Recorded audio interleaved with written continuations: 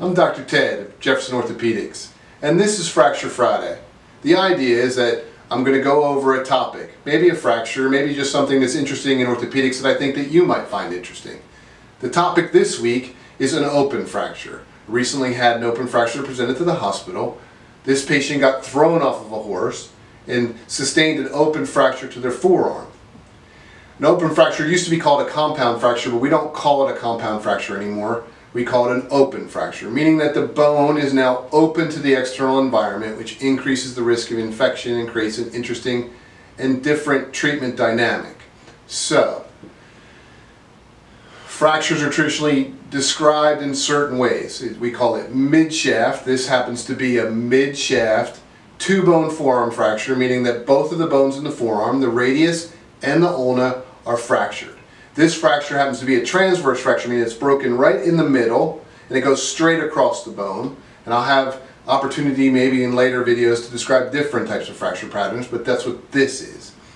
The fractures are also described when we talk about open fractures in, in terms of a classification. So the classification for open fractures is 1, 2, and 3.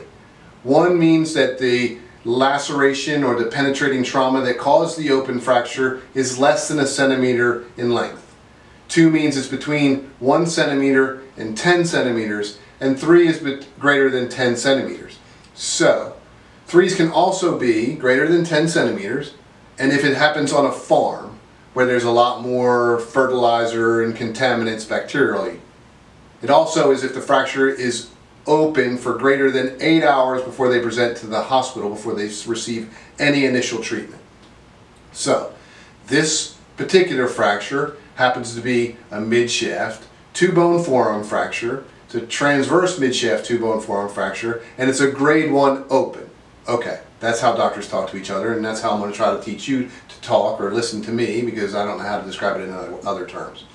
So, the way this fracture is treated, typically for grade one fractures, is we put the, the patient on high dose antibiotics to make sure that we don't have continuation of the offending organisms and we do an open reduction internal fixation. So these x-rays that we're going to look at now are after we treated the fracture. We put a plate on the radius and we put a plate on the ulna. And for radius fractures, we want at least six cortices above and below the fracture. And the same thing with the ulnar fracture, six cortices above and below the fracture. Now that requires a little bit of a description too. Because a cortex or a cortice is one of the tubular bone where the screw goes on through one side, that's one cortice, and then when it goes through the other side, that's two. In other words, if you look at these x-rays, you will see that there are three screws above and three screws below the fracture. So this fracture has been, in what we currently know in orthopedics, adequately stabilized and should heal without incident. Also should be discussed about how long we keep patients on antibiotics. The antibiotics are traditionally treat, continued for at least 24 hours after the fracture through the IV, through the vein, and then orally for about 10 days.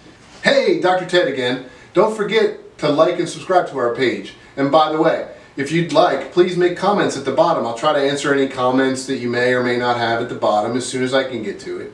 And if you have any topics you'd like to hear about in the future, maybe you have a family member that sustained an injury, maybe you had an injury and you'd like to learn more about the general principles behind this treatment of said injury or said problem, then send me a message and I'll try to do a video about that in the future. Thanks for watching.